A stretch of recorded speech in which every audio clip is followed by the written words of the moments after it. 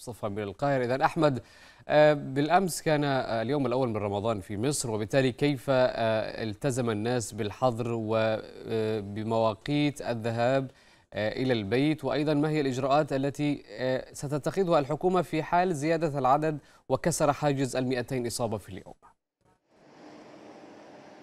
نعم وائل ربما يعني منذ ظهور أول إصابة بفيروس كورونا المستجد منتصف شهر فبراير الماضي والحكومة المصرية تتخذ العديد من الإجراءات التي تسعى من خلالها إلى موازنة الأمور ما بين الإجراءات الاحترازية وما بين اتخاذ إجراءات تسمح باستمرار عجلة الحياة والإنتاج في مصر. وما ربما أكد عليه رئيس الوزراء المصري خلال اجتماعه الأخير مع الحكومة المصرية وخلال مؤتمره الصحفي. وبالتالي يعني لجأت الحكومة المصرية إلى اتخاذ العديد من الإجراءات التي تضمن التخفيف من حدة الحظر الذي فرضته خلال الفترة الماضية.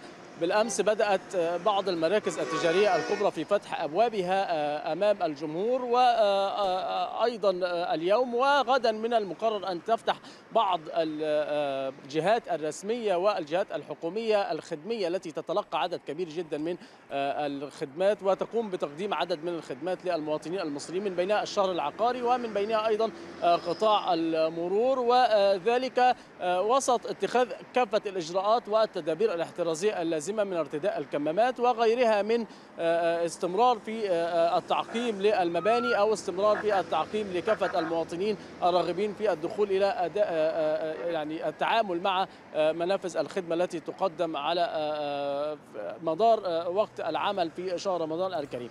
من المعروف في شهر نعم رمضان في مصر أن الحركة في الصباح تشهد هدوءا نسبيا أو هدوءا كبيرا داخل القاهرة وفي مختلف المحافظات المصرية وبالتالي يعني هي فترة كما قال رئيس الوزراء يمكن من خلالها البناء على ما سيتم اتخاذه من إجراءات خلال الفترة القادمة سواء كانت إجراءات أكثر صرامة أو المزيد من التخفيف من حركة الحظر التي فرضته مصر خلال الفترة الماضية. نعم. اذا هذه الصورة مع أحمد مصطفى من القاهرة. شكرا جزيلا لك أحمد مصطفى من القاهرة و